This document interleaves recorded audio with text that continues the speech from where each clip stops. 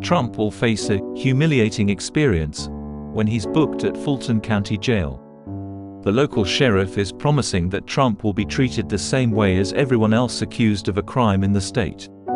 A lawyer who has sued the facility three times on behalf of families of men who died while in custody there, says, if Trump really is treated like others charged with crimes in Georgia, he's in for a humiliating experience.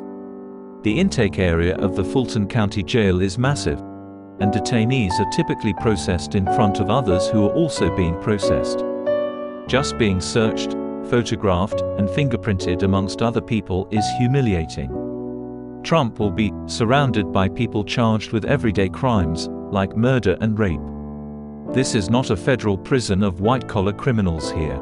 During the typical booking process at the jail, detainees move from station to station, where they would get physically searched, put through a body scanner, undergo a medical intake screening, have their mugshot taken, and get fingerprinted.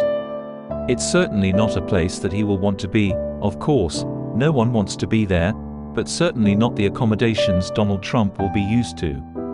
There's nothing private. I'm sure Trump will be in a great mood if that happens. He'll be in with the rabble, the very same people he and his family look down on. Imagine that. Indeed, the conditions at the prison can be shocking. So much that the Department of Justice has opened a civil investigation into conditions at the prison.